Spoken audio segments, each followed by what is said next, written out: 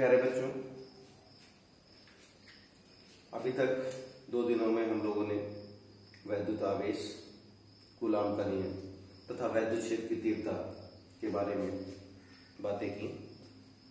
आज हम इससे संबंधित कुछ आंकिक प्रश्न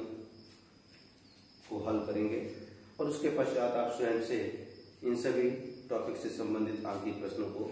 अपने फेयर कॉपी में हल करेंगे। पहला क्वेश्चन जो एनसीईआरटी की बुक में दे रखा है, वो है कि यदि दो आवेश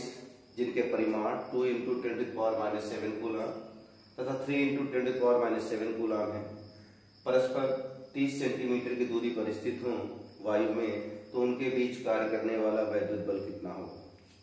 तो देखिए, इसमें दोनों आवेशों के परिमाण दे रखे हैं। पहले का परिमाण दे रखा है two into ten power minus seven coulomb दूसरे का three into ten to power minus seven coulomb और दोनों के बीच की दूरी दे रखी है थर्टी सेंटीमीटर जिसे आप मीटर में चेंज करेंगे तो वो हो जाएगा thirty into ten to power minus two metre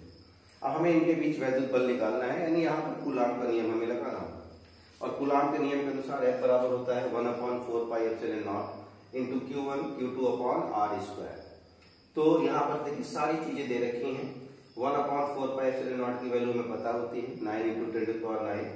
Q1 की वैल्यू दे रखी है Q2 की वैल्यू भी दे रखी है और R की वैल्यू भी दे रखी है। यानी हमें सिर्फ़ इस फॉर्मूले में इनकी वैल्यूज़ को रखकर इसे सॉल्व कर लेना है। तो बहुत ही आसान हो गया। सॉल्व करेंगे nine into ten power nine q one की जगह पर two into ten power minus seven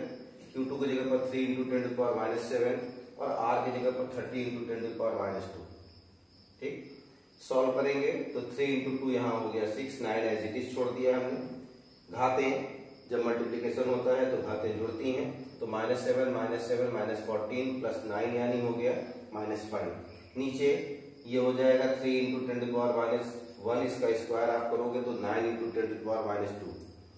इसको सॉल्व करेंगे नाइन से नाइन कट गया, बचा क्या? Six into ten to power ये जब ऊपर जाएगा तो प्लस हो जाएगा यानी ten to power minus three ठीक? आइए दूसरा क्वेश्चन देखते हैं।